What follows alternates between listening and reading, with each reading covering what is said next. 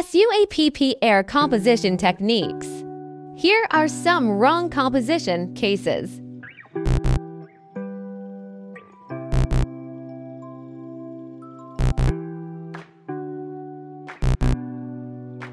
When we select the angle rendering for the model, we can click on the positioning camera function that comes with SketchUp. Click on the ground. Now it's the person's perspective. Adjust the composition a little bit.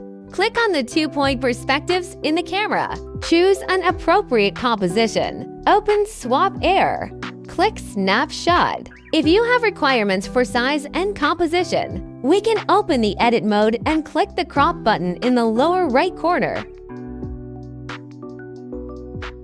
Click the check mark above. Select a style and start rendering. The aesthetics of the composition will affect the judgment and performance of AI.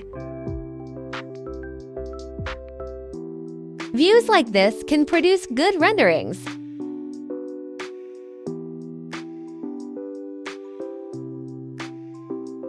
Have to be aware of is AI generates renderings based on lines.